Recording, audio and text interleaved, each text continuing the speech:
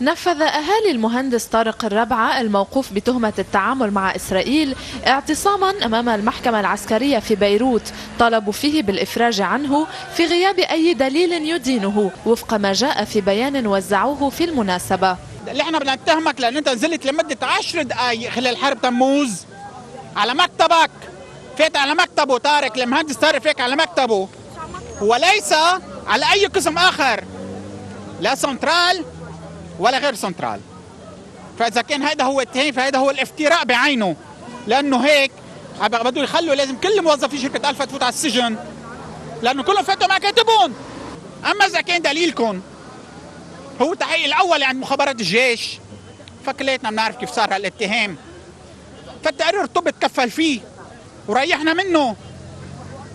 لأنه ثبت أنه طارق تعرض لكل أنواع التعذيب.